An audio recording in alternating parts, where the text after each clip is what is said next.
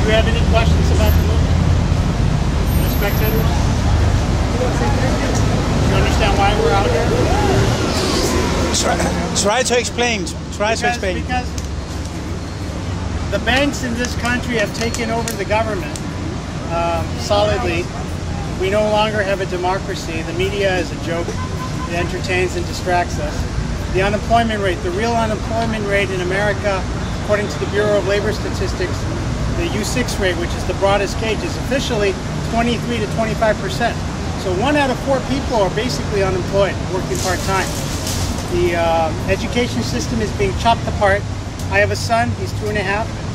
Just in the last two years, the entire city has cut off its education calendar by 12 days, seven days last year, and five days this year. That's to preserve the salaries and the positions of the administrators and the teachers. They're sacrificing the, the future of the youth of this country.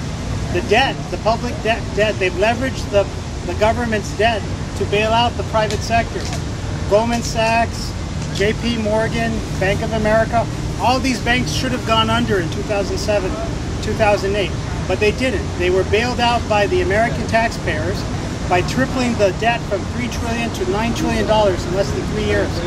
These wars in Iraq and Afghanistan, Pakistan, in Syria, Libya, we recognize that these wars have a lot to do with the creation of profits for these banks, whether it's through debt issuance by the government or through the foreign resources that we're taking over. And we recognize that a lot of these governments are proxy states for the, the empire that the United Kingdom and the United States have put together.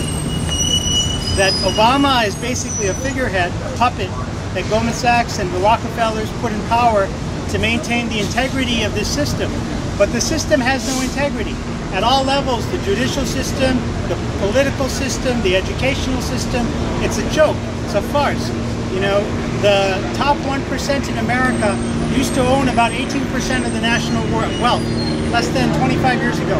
Today, the top 1% own, own between own between 40 and 42% of the national wealth. And if you're talking about the financial wealth, the top 1% own 56% of the national wealth in the United States. And this is all documentable. You can go online and just Google the, the wealth distribution in the United States. The healthcare system here is one for the wealthy. Um, people have no jobs. They have leaders who only serve the interests of the, the only ownership class. The people who, who run the government basically are the one who own real estate. This city here, Los Angeles, the downtown real estate developers built up this Ponzi scheme and it collapsed. And now the city hall is basically going to bail them out. They're going to build a football stadium that's going to cost over a billion dollars at least. They're saying maybe as too much as $2 billion. This is when the city has a $400 million operating deficit. So their solution is to create two years of temporary jobs for about 10,000 people so that they can get reelected. And what's the solution? It's a football stadium to keep us entertained. They don't care about the fact that all the jobs in this country have gone to China, have gone to Mexico, that the we are no longer producing anything in the United States. They've created a nation of people who are entertained and distracted all the time and who don't know what's going on with the rest of the world. Let me conclude with this. If you pick up your dollar bill, and I don't have one with me, but if you pick up your dollar bill, I don't have one. But you'll see a pyramid. You know the pyramid on the dollar Yeah. bill? Okay, the top of the pyramid is disconnected from the base. That's that's what the United States has become. The United States has become this pyramid eye, 4% of the world's population. Its its spending, its military spending is more than the entire rest of the world combined. This symbol here on the dollar bill was put on the dollar bill in 1934 by Franklin Delano Roosevelt and his vice president, Henry Wallace. Both of them were 33rd degree Masons.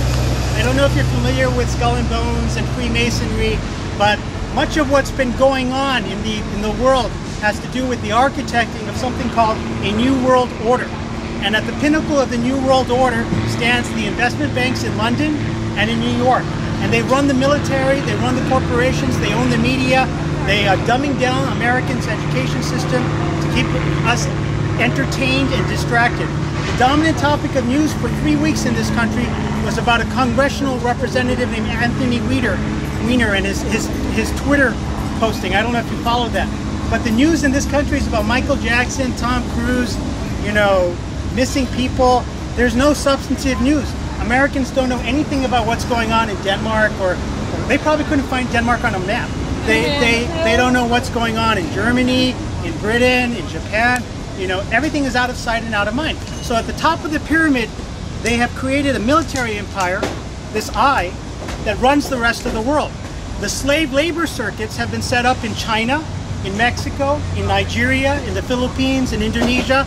They use these wars against these faux enemies, these, these Muslims, that's the current enemy of, of, of favor, to basically keep, create a military industrial complex and run the world's natural resources and its cheap labor for our benefit.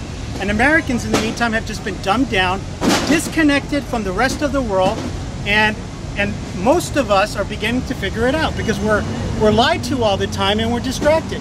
And we're here, there are 400 of us here. We're here because we're fed up with being fed up. We're frustrated with the government. These politicians no longer represent us. And we want, we, we have to do what you guys have been doing, we hear at least, in Europe, and that is standing for your rights. So we're fed up with these assholes, these, these warmongers, these bankers. They've taken over our country, they've taken over our, our financial system, and enough is enough. And you know, this is happening globally, and I hope at some level we can build bridges with, with the Danes and with the Europeans, um, because the, the problems are linked. You know, I think in your government you have a parliamentary system. We don't have anything like that here. Maybe we need something like that. Um, so anyway, we're mad as hell, Yeah. and we're not going to take it anymore. Thank you. Give him it. Goldman Sachs. Goldman Sachs is at the root of the problem. You know, this investment bank.